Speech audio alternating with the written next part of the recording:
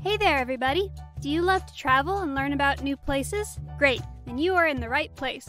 Join Jasmine the cat and Gracie the tortoise as they have fun traveling the beautiful United States and learning lots of cool new facts. Hello, friends! It's Jasmine, the jazzy gray cat, here with my BFF Gracie, the super smart tortoise. Say hi, Gracie. Greetings, my good friends. Gracie here. Are you ready to go with us as we explore more exciting places in Canada? You betcha! I just loved exploring Ontario. Where are we going next? Well, Jasmine, we're headed for British Columbia, but to get there we must go through Manitoba, Saskatchewan, and Alberta provinces. These provinces are also called the Three Prairie Provinces. We will be traveling 1,443 miles in order to get to British Columbia. Wow! I hope our cute blue camper is ready. I think I'm going to need a lot of snacks and naps in my princess bed. Good idea, but we're not going to drive straight through. We'll stop and visit Manitoba, Saskatchewan, and Alberta as we go. Great idea! I can probably get more snacks when we stop. If you must, you must. Now, our first stop will be in Manitoba. Manitoba is known as the Keystone Province because it's right in the middle of Canada. A keystone is a stone right in the middle of an arch. A keystone is very important because it holds the rest of the stones together. So that means that Manitoba is very important. Over to the map to find it. I see it. So do I, right here in the middle of Canada. Ontario is on the east, Saskatchewan is on the west, the province of Nunavut is to the north, and the chilly waters of the Hudson Bay are to the northeast. To the south are the states of Minnesota and North Dakota. I hope it doesn't feel squished in the middle. The capital is Winnipeg, where most of the people in Manitoba like to live. I would love to see the Royal Winnipeg Ballet. Maybe the dancers are performing the Nutcracker. I'm sure the ballet would be wonderful, but it probably wouldn't be the Nutcracker, since that is usually performed at Christmas. I would be happy to explore the Winnipeg Art Gallery, which is an art museum with art from Canadian, Indigenous, and international artists. Both of those activities will have to wait, since we're not going to Winnipeg this time. We're not, but we're already here. What are we going to do? We're going to park our camper and take a small plane up to the Hudson Bay and the town of Churchill. What's up there that could be better than a ballet? How about polar bears, beluga whales, northern lights, and tundra? Polar bears? Really? Yes, really. Every year from July to November, polar bears come here to eat and wait for the water to freeze so that they can go out onto the ice and hunt for seals. Are you ready for a ride in a tundra buggy to go look for polar bears? Of course I am. Um, what's a tundra buggy? A tundra buggy can drive over the uneven surface of the tundra with its big tires. Tundra is found up at the Arctic and is rough land that has no trees. It's covered with snow in the winter, but blooms with beautiful flowers in the summer. Well, I for one am glad we're here in the summer. Flowers and polar bears. All aboard. Ooh, this is a bumpy ride. Hang on tight, Gracie. Over there, I see polar bears. They look like they're really enjoying their lunch of plants. Hi, bears. That was exciting. Before we head back into Churchill, Let's take a break on the beach and look for beluga whales. A beach at the Arctic? Ooh, the water is really cold. I see some beluga whales playing in the water. They're so cute. Hi, whales. I think that one's waving its flipper back at me.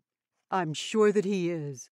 Jasmine, as we head back into town, be on the lookout for more polar bears. They can be dangerous wild animals. While most of the polar bears move on in the winter, some like to stay, and if they do, they get caught and sent to polar bear jail. Oh no! A jail for polar bears? I see it. Too bad we can't visit them. But luckily for the polar bears, they don't stay in jail forever. When it gets cold, the bears are taken to the Arctic. Churchill is another great place to see the northern lights. I just love seeing those beautiful colors in the night sky.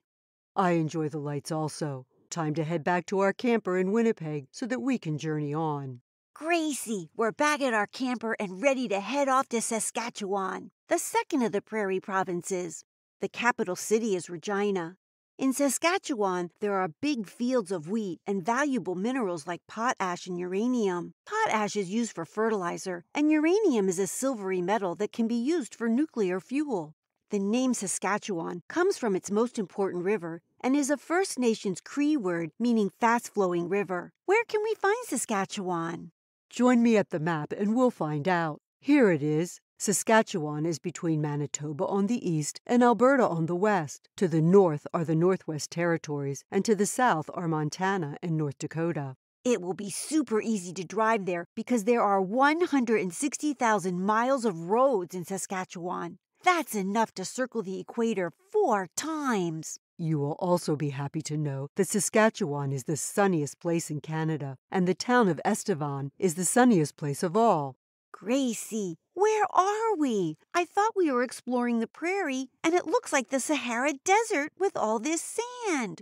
We're here at Great Hills Sand Dunes. These sand dunes are active, meaning they move and change, so every time you visit, they'll look a little different. The dunes were formed nearly 12,000 years ago, during our last ice age. When the ice melted, the lakes and the sand were left behind. Super cool! Look at the people jumping off the sand dunes. Oh no, that boy missed and is somersaulting down the hill. He is laughing, so he had fun. I think I'll pass. I don't want to get any sand in my beautiful fur. How about we go on a bone hunt instead? I've never done that before, so let's go. Ooh, I see some. They're so white and tiny. What animal do they come from? The bones come from the kangaroo rats that live here. Finding them was fun, so let's leave them here for others to find. Can you spot any animals?